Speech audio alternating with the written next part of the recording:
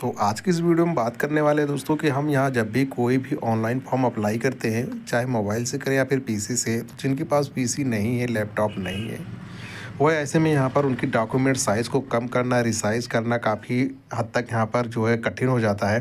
तो ऐसे में ये वीडियो आपके लिए काफ़ी हेल्पफुल रहने वाली है क्योंकि यहाँ पर मैं आपको बताने वाला हूँ दोस्तों कि अगर आपके पास पीसी लैपटॉप नहीं है, फिर भी आप अपने मोबाइल के भी थ्रू अपना डॉक्यूमेंट साइज़ को एडजस्ट कर सकते हैं और वह अपने ऑनलाइन आवेदन में उसे अपलोड कर सकते हैं और उसे तो इसके लिए आपको अपने ब्राउज़र में आना है दोस्तों, और आपको सर्च कर देना है J P G resizer J P G resizer जैसे ही आप सर्च करेंगे तो यहाँ पे आपको पहला लिंक मिल जाता है दोस्तों। काफ़ी बेहतरीन अप्लीके जो है इमेज को एडजस्ट करता है रिड्यूस इमेज डॉट कॉम करके ये साइट है।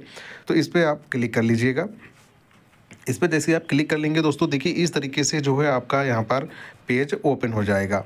तो इस तरीके से पेज ओपन हो जाने के बाद आप इसमें देखिए सबसे पहले आएँगे सिलेक्ट इमेज वाले ऑप्शन में। यहाँ पर आकर के आपने जहाँ पर भी अपना इमेज रखा है, अपने इमेज को सिलेक्ट कर ले।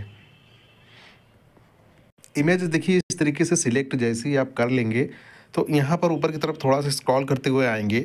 आप देखिए, यहाँ पर choose new size and format यहाँ पर आप उसकी चौड़ाई कितना रखना चाहते हैं हाइट कितना रखना चाहते हैं, वो यहाँ आप आ आ करके उसके जो है नंबर डाल करके आपको उसे यहाँ पर रेजुलेशन देखिए यहाँ पर डीपीआई दिया गया है। तो सबसे पहले आपको क्या करना अगर ए फोर साइज़ में दोस्तों आपको रखना है तो आपको ए फोर साइज़ में रखने के लिए इसे आपको मालूम नहीं है कि ए फोर साइज़ का हमारा आ, अगर यहाँ पर हम आएँगे परसेंटेज में तो देखिए सबसे पहले जो लॉक लगा हुआ है इस लॉक को हटा दीजिएगा।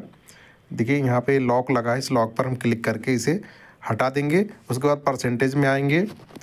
अब यहाँ पर सेंटीमीटर या पिक्सल में या फिर इंचेज में रखना चाहते हैं, उस पर आपको क्लिक कर देना।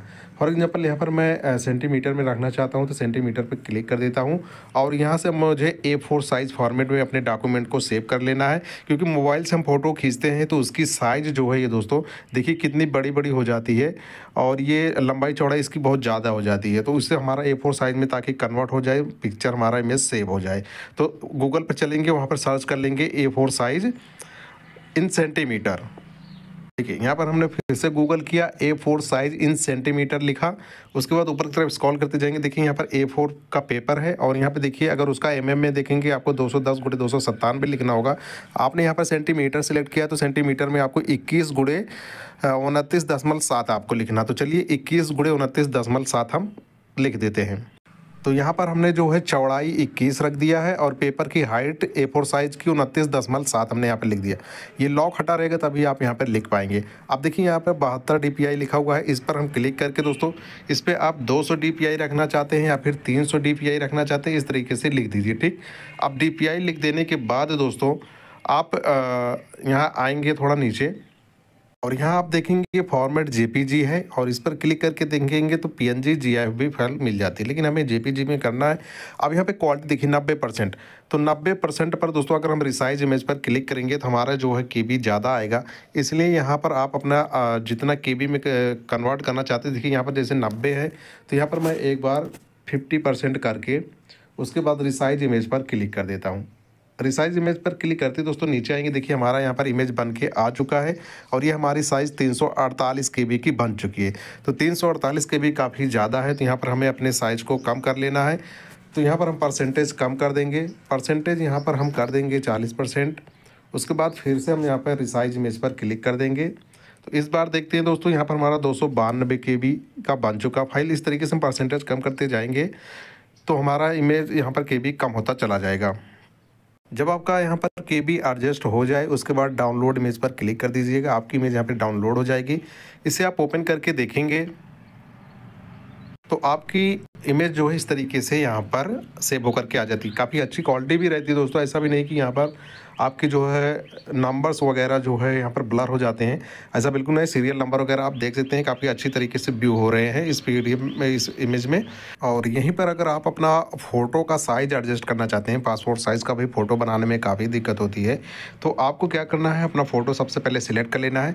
फ़ोटो की साइज़ यहाँ पर देख रहे होंगे मोबाइल से खींचते हैं तो काफ़ी ज़्यादा साइज़ भी रहती है और उसकी जो एक्चुअल चौड़ाई और लंबाई रहती है, वो यहाँ पर एडजस्ट नहीं हो पाती है। तो फ़ोटो को भी रिसाइज करने के लिए आपको फ़ोटो को लाए इसमें ला लेना है, यहाँ से सिलेक्ट करके। उसके बाद देखिए, यहाँ पर आपको ध्यान देना है, जैसा हमने यहाँ पर लिखा है, सिर्फ़ आपको ऐसा ही लिख देना है। साढ़े तीन, साढ़े चार, चौड़ाई साढ़े तीन रहेगी हाइट साढ़े चार। सेंटीमीटर यहाँ पर आप देखिएगा सेंटीमीटर में आपको इसको कर लेना है। और कर लेने के बाद 300 सौ करना है दोस्तों, और उसके बाद यहाँ पर आना है, आपको फिट वाले ऑप्शन पर क्लिक कर लेना चाहे डॉक्यूमेंट हमें एडजस्ट करना हो या फिर हमें फ़ोटो एडजस्ट करना हो फिट वाले पर हमें क्लिक कर देना है। अब देखिए यहाँ पर जेपीजी फॉर्मेट रहेगा। क्वालिटी आप यहाँ पर 40 परसेंट रखेंगे, उसके बाद रिसाइज इमेज पर क्लिक कर देंगे। जैसे ही रिसाइज इमेज पर क्लिक करेंगे, आपकी फ़ोटो यहाँ पर देखिए पंद्रह के की बन के आ चुकी है।